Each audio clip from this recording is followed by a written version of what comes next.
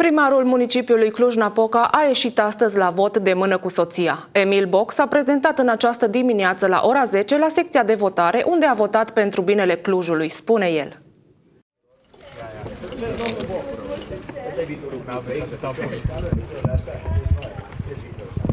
Toate respectele mele. Succes, domnul Boc!